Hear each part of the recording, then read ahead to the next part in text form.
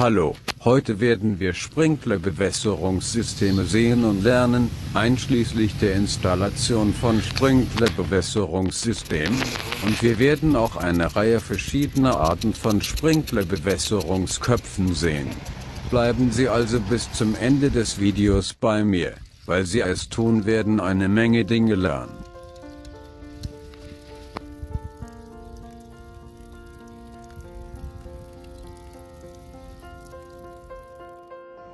Beginnen wir also mit der ersten Art von Sprinklerbewässerungssystem.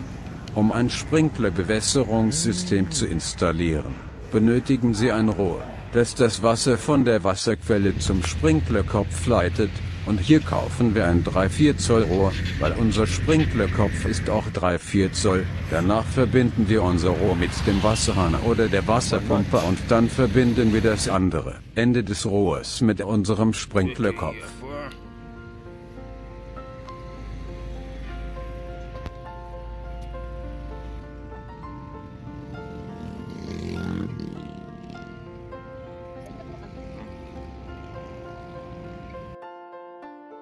Stecken Sie danach Ihren Sprinkler in den Boden und drehen Sie den Wasserhahn auf.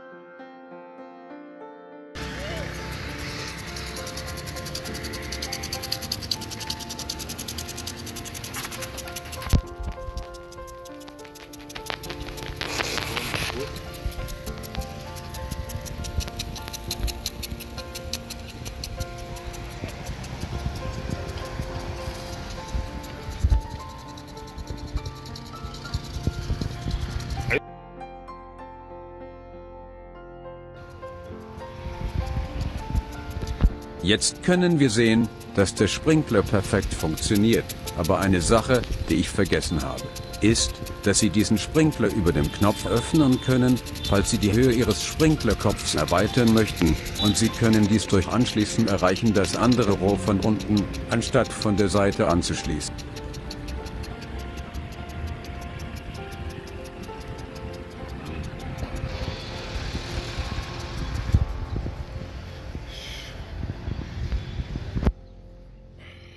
Wir haben jetzt also bereits gesehen, wie der erste Sprinkler funktioniert, also lassen Sie uns versuchen, eine andere Art Sprinkler zu installieren, nämlich einen rotierenden Sprinkler, der sich um den Bereich dreht, in dem er Wasser versprüht. Ich werde Ihnen später andere Arten von Sprinkler zeigen.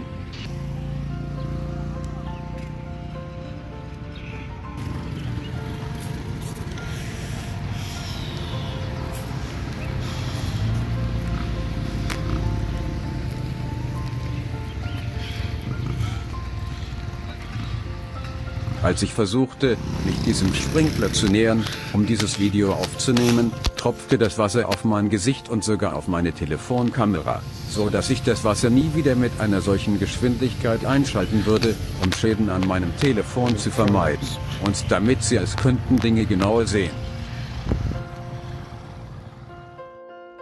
Lassen Sie uns also zu einer anderen Art von Sprinklerbewässerungssystem übergehen, die Ihnen bereits bekannt sind, da Sie sehen können, dass diese ein wenig anders sind. Sie können sehen, dass sie eine größere Höhe haben und am unteren Teil gibt es Ellbogen- und BVT-Kupplungen, die alles verbinden zusammen und Sie können sehen, dass Sie Ihre Rohre nicht unbedingt unterirdisch vergraben müssen, Sie können sie einfach an der Oberfläche lassen, wenn Sie möchten. Und auch wenn ich alles auf dem Boden vergraben würde, könnten Sie wahrscheinlich nicht sehen, wie alles miteinander verbunden ist. Schauen Sie sich also genau an, wie dieses System installiert ist, und Sie können sehen, dass dieses System anders ist und Sie mehr als einen Sprinklerkopf entlang derselben Leitung anbringen können. Aber Sie benötigen auch viel Druck und Durchflussrate, um dies zu tun, um jeden Sprinklerkopf mit ausreichend Wasser zu versorgen. Schauen Sie einfach selbst genauer hin und lernen Sie, wie verschiedene Komponenten miteinander verbunden sind und wie Sie es selbst tun können. Den Link zum Kauf all dieser Komponenten finden Sie in diesem Video.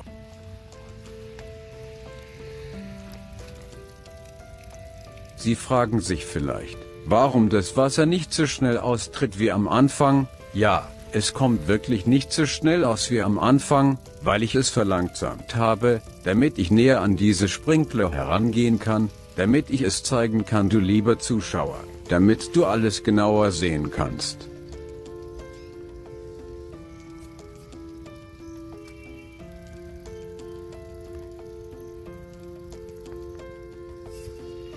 Diese Art von Sprinklerbewässerungssystem kann also verwendet werden, wenn Sie einen größeren Teil des Landes oder der Farm bewässern möchten, aber wenn Sie nur einen kleinen Hausgarten haben, sind die vorherigen Sprinkler besser für Sie, da sie auch viel sind billiger im Vergleich zu dem, das Sie jetzt sehen.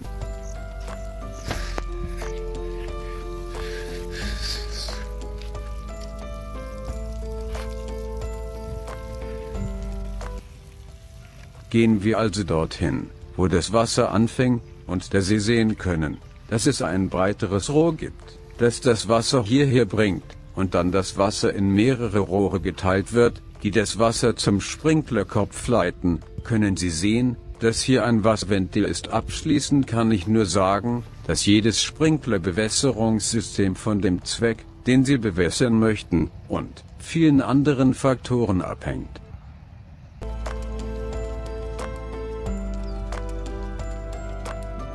Lassen Sie mich Sie also zur Zuckerrohr-Plantage bringen, damit ich Ihnen noch größere Sprinkler zeigen kann, falls Sie Sprinklersysteme auf Ihrer Farm installieren möchten. Dies ist also ein Bewässerungskanal, in dem Wasserpumpen installiert sind, um das Wasser aus seiner Quelle zu pumpen zum Sprinklerkopf und da Sie sehen können, dass je höher der Sprinklerkopf installiert ist, desto mehr Oberfläche kann das Wasser bedecken. Wenn Sie also ein großes Ackerland haben, ist es eine gute Idee, Ihre Sprinkleranlage in viel höheren Lagen zu positionieren, um die Reichweite des Wassers zu erweitern.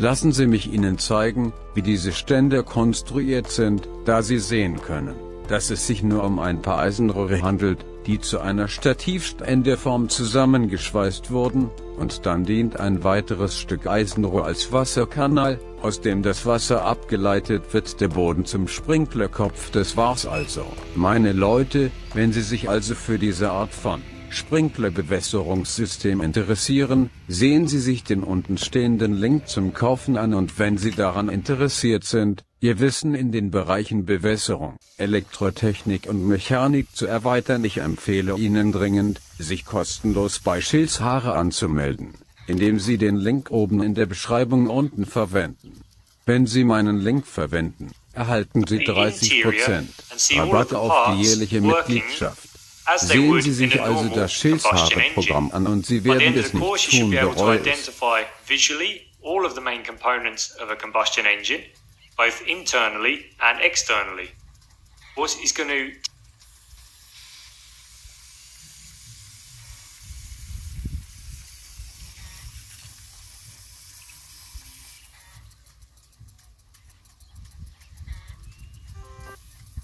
You're here because you want to master the DC electric circuits, right? This is the perfect course for you if you're a complete beginner and want to understand circuits. We will start